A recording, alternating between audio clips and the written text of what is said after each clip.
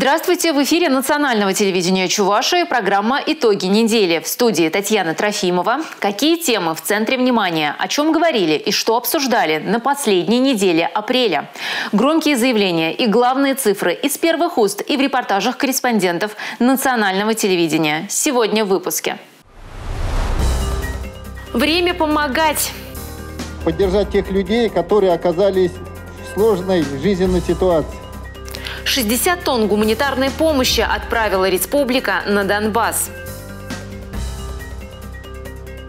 Парад Победы, Бессмертный полк, театрализованное представление. Мы все ждем вот эту знаменательную дату, потому что она важна, значима для каждой семьи. 77-я годовщина Победы в Великой Отечественной войне пройдет с размахом.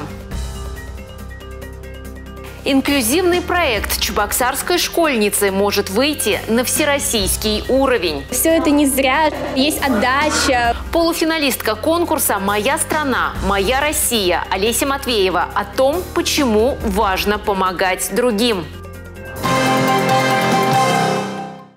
Глава республики Олег Николаев встретился с делегацией Самарской области. На встрече обсудили вопросы развития научно-образовательных центров мирового уровня.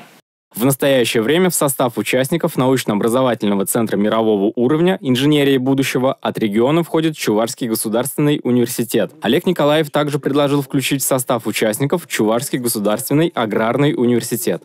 Для нас Республика Чувашия – это надежный партнер, потому что ну, не всегда так партнеры, когда еще не имеют обязательств, активно включаются и пытаются встроиться, чтобы быть а, полностью готовыми к будущим вот сложностям. В рамках данного центра образовательные и научные организации разрабатывают проекты, направленные на решение стратегических задач научно-технологического развития, разрабатывают новые продукции и технологические решения для организаций, действующих в реальном секторе экономики и многое другое. Конечно же, для нас является той формой нашей совместной деятельности, которая направлена на реализацию задач, обозначенных президентом. Это прежде всего, естественно, максимальное использование э, научных, э, прежде всего, умов, и превращать их сначала в научные открытия, а потом уже, естественно, коммерциализировать и превращать в конкретные производственные процессы и площадки.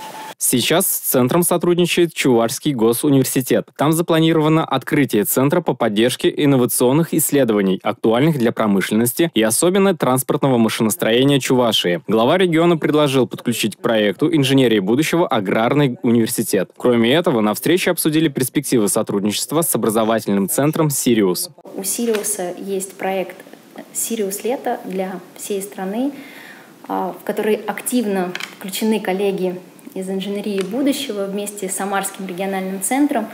А, суть как раз этого проекта, когда индустриальные партнеры вместе с вузами формируют отдельно по-другому, более в легкой форме проектные задачи и ставят их перед школьниками. Ходе визита делегация познакомится с научно-образовательным, технологическим, промышленным, инвестиционным, инновационным потенциалами республики. Также на этой неделе глава региона провел переговоры с генеральным консулом Республики Узбекистан в городе Казань Фаридином Насриевым. На встрече обсудили торгово-экономические отношения и инвестиционный потенциал обеих республик. Мы э, сверили в часы, в первую очередь, э, о нашем торгово-экономическом инвестиционном сотрудничестве, также э, перспективы на дальнейшее э, работу, развитие наших отношений. Э, Российская Федерация является стратегическим партнером Республики Узбекистан. Несмотря на э, годы пандемии, у нас товарооборот вырос на 18%. Генеральный консул отметил, что кроме торгово-экономического сотрудничества важен и культурный обмен, а также развитие туризма обмен культурной составляющей и а, может быть, там информирование и узнавание друг друга через культуру. Конечно, как бы раскрывать чуть-чуть другие составляющие и, а, значит, а, особенностей территории и национальности, а самое главное, может быть, повышать привлекательность, в том числе с точки зрения развития туризма. Фаридин Насриев рассказал, что в Самаркандской библиотеке «Шелковый путь» в ближайшее время планируют подготовить стенд, знакомящий с Чувашией. Глава республики, в свою очередь, отметил, что в Чувашском государственном университете с удовольствием принимают студентов из Узбекистана. Также им предоставляется возможность работать на производственных предприятиях во время учебы. Глава Чувашии рассказал о туристическом маршруте «Рунический путь». Фаридин Насриев во время рабочей поездки в регион запланировал посещение мемориального комплекса Победы и встречи со студентами, предпринимателями. Чувашия присоединилась к всероссийской акции «Поезд помощи». Сегодня из Чебоксар торжественно отправили вагон с гуманитарным грузом для Донбасса. Состав поезда будет сформирован в Москве из брендированных вагонов от каждого региона. После объединения поезд доедет до Ростовской области для отгрузки в Донбасс. 60 тонн продовольствия загрузили в специальный вагон. Здесь мука для выпечки хлеба, минеральная и питьевая вода, семенной картофель, перловая крупа. Очередной результат объединения наших усилий. А эти объединения усилий, прежде всего, направлены на того, чтобы поддержать, поддержать тех людей, которые оказались в сложной жизненной ситуации. Я благодарю всех жителей Чувашии, всех жителей, всех, всех хозяйствующих субъекты, все общественные организации, которые откликнулись на то, чтобы объединить наши усилия. Это уже четвертая партия гуманитарного груза, которая отправляется на Донбасс. 173 тонны продуктов питания, средств личной гигиены, одежды и обуви из Чувашии уже в Донецкой Народной Республике. Уверен, что и этот вагон, который из Чувашии идет на Донбасс – тепло примут, с благодарностью примут. Ну а мы будем дальше вместе строить справедливое, правильное и без нацистское братство, общее пространство, культурное, православное. Сбор гуманитарной помощи продолжается. Поступают финансовые средства, на которые закупают бытовые приборы и лекарства. На призыв откликаются как простые жители республики, так и предприятия. Как заявил Олег Николаев в своем телеграм-канале, в ближайшее время представители электротехнического кластера региона окажут помощь в восстановлении энергосистемы Донбасса. Сегодня в целом по стране принимается очень много шагов для того, чтобы быть и оказать реальную помощь тем, кто в ней нуждается. И, конечно, очень важно, что именно в преддверии 9 мая мы сегодня здесь. И жители Чувашской республики всегда обладали тем удивительным свойством, чувством милосердия и помощи тем, кто нуждается в поддержке. Вагон с продовольствием из Чувашии – часть всероссийского проекта «Поезд помощи». В акции приняли участие 63 региона страны. В Москве поезд от нашей республики станет частью большого состава.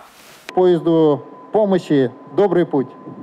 29 апреля в Чувашии отметили День государственных символов республики. Ровно 30 лет назад депутаты Верховного Совета Чувашии утвердили гимн, герб и флаг. В регионе прошло порядка 600 мероприятий. В школах уроки начинались с информационной пятиминутки об истории памятного события. Основное мероприятие – музыкальный флешмоб – прошел на Красной площади Чебоксар.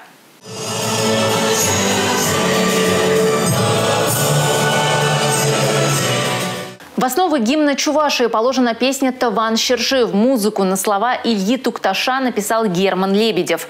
Государственный флаг и герб разработал мастер геральдики Чувашии Ильи Юрьев. Цвета флага традиционные – желтый и пурпуровый. По центру полотнища расположены древние эмблемы – древо жизни и три солнца. На Красной площади прошел праздничный флешмоб, в котором участвовали студенты, волонтеры и даже воспитанники детских садов. Флаг – это наша Родина. Я знаю то, что это Россия, а там чувашские. Чувашский флаг желтого и красного цвета. И республика – это наша Родина. Сегодня праздник чувашского герба и флага. Флаг и герб нужен республике, чтобы отличаться от других республик. У нас же и красный, и желтый цвет – традиционные цвета наши чуваши. Везде, откуда куда ни посмотришь, сразу ассоци... ассоциируется с Чувашией, поэтому красный цвет – это цвет жизни, желтый цвет – цвет солнца. Они объединяют.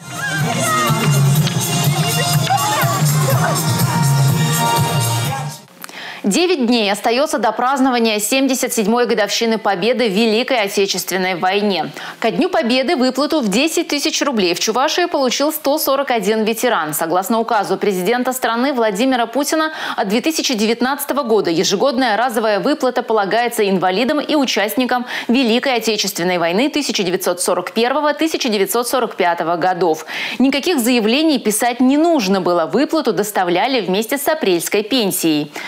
Парад Победы, Бессмертный полк, концерты, уроки мужества, показы патриотических фильмов. Эпидемиологическая ситуация в этом году позволяет развернуть масштабный праздник. Сводный полк Чебоксарского гарнизона торжественно пройдет по площади республики в столице Чувашии в составе парадного расчета свыше тысячи человек. Там же проедет историческая и военная техника. По сравнению с предыдущим годом Значит, количество техники у нас увеличилось, будет свыше 100 единиц техники. И в связи с тем, что пока погоду нам обещают хорошую, будет, соответственно, э, пролет авиации с выброской парашютистов, с флагами родов войск республики и Георгиевской ленты. Мы готовимся к большому наплыву э, гостей в город. Мы проводим парад Победы, мы проводим а, парад «Бессмертный полк». Два года ковидных а, прошли. А, я думаю, что сегодня как никогда актуально объединение именно плечом к плечу, выйти на улицу и вспомнить всех участников Великой Отечественной войны и показать наше единство. Георгиевская лента, вальс победы, вахта памяти, бессмертный полк. Чувашия традиционно примет участие во всероссийских акциях. И в республиканские мероприятия вовлекут практически каждого жителя региона. Государственные архивы проводят также работу над созданием комплекса архивных документов, кино и фотоматериалов. Среди них гражданско-патриотические акции, эстафета памяти поколения, народная память «Сохраним победу».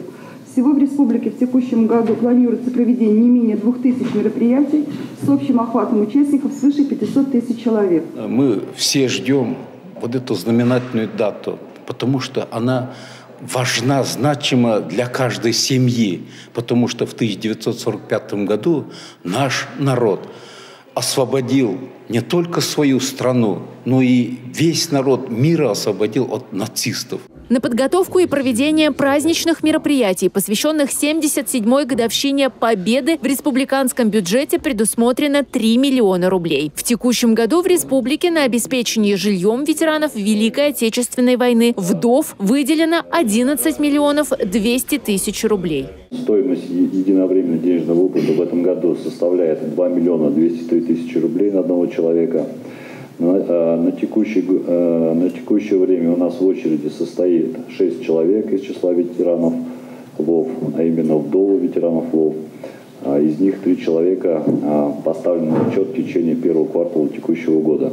На сегодняшний день пять человек получили свидетельство о праве на получение социальных выплат, из которых четыре уже приобрели жилые помещения. Один а, человек пока находится в поисках приобретения жилья.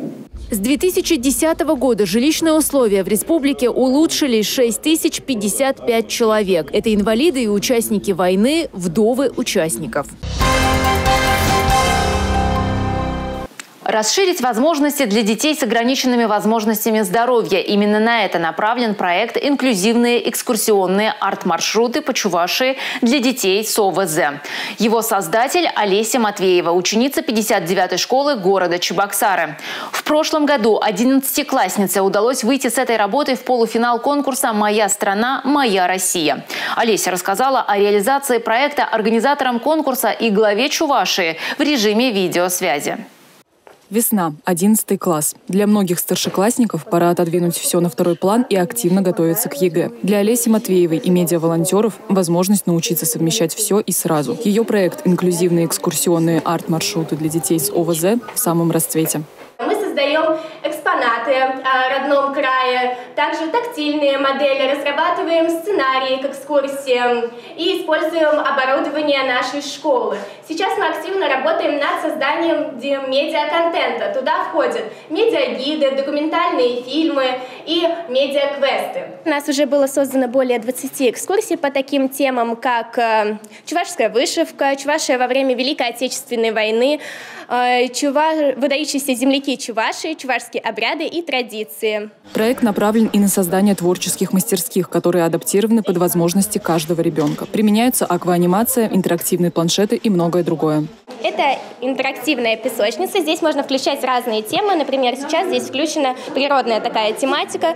Тут дети могут играть с песком, развивая свою моторику. И вот меняется ландшафт, получается. Здесь, где более углубленная вода появляется, здесь, наоборот, суша. И также можно делать горы и остальное. Дети изучают окружающий мир, развивают моторику рук. Проект Олеси не появился бы на свет без ее наставницы, руководителя медиастудии и учительницы истории Натальи Ивановой. Именно она рассказала девушке о всероссийском конкурсе и помогала на протяжении всего пути. О конкурсе мы узнали три года назад, и поучаствовать в нем было такой небольшой мечтой. Мы все очень надеемся, что проект Олеси будет поддержан платформой «Россия – страна возможностей» э, и будет масштабироваться и тиражироваться в масштабе всей страны. С каждым годом количество участников конкурса «Моя страна, моя Россия» только растет. Чувашия не исключение. В 2019 году из республики поступило 328 проектов. В этом более тысячи. Такое количество проектов, которые генерируются в Чувашской республике, это для нас, для руководителя, для руководства Чувашской республики, несомненно, огромный кладезь идей. И мы, естественно, каждую идею прорабатываем, сопровождаем и просматриваем на их предмет полезности, ну и, конечно, реализуем реализуемости и всячески будем поддерживать ребят для того, чтобы они их реализовали. Хочу сказать спасибо за активное участие в наших проектах. И вот только тот проект, который вы реализуете, он, безусловно, очень важный, нужный. И я думаю, что мы, мы подумаем совместно, как применить э, вот предложенные вами практики в наших проектах. Проект Олеси Матвеевой уже помогает детям с ограниченными возможностями здоровья в Чувашии. Теперь у него появилась возможность выйти на всероссийский уровень. Когда видишь восторженные лица детей, слышишь от них слова благодарности, ты понимаешь, что все это не зря, что есть отдача, вот эта вот э, благодарность, восхищение. В этом году Олеся закончит школу, но она знает, проект не пропадет. Ее дело продолжит следующее поколение волонтеров, а она, в свою очередь, реализует проект уже в университете. Семь городов Чувашии назвали привлекательными для туристов. Минэкономразвития Чувашии сообщает, что Федеральное агентство по туризму включило их в перечень населенных пунктов туристического интереса. Ростуризм оценивал конкурсные проекты по формированию программ туристского кода центра города. В список от Чувашии вошли Чебоксар, Цивильск, Мринский Посад, Ядрин, Алатырь, Шумерля и Козловка. Муниципалитеты будут учитываться Министерством строительства и жилищно-коммунального хозяйства России при формировании адресного перечня территорий, нуждающихся в благоустройстве в 2023 году.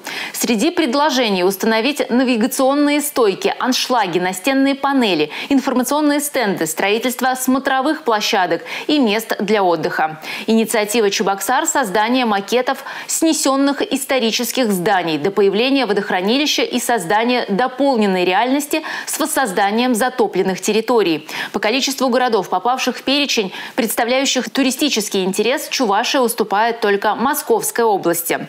От этого региона в федеральный список попали 8 муниципалитетов, отметили в Минэкономразвития Чувашии. Это главные темы последней недели апреля. Впереди длинные выходные. Хорошего всем отдыха. Увидимся на национальном телевидении Чувашии.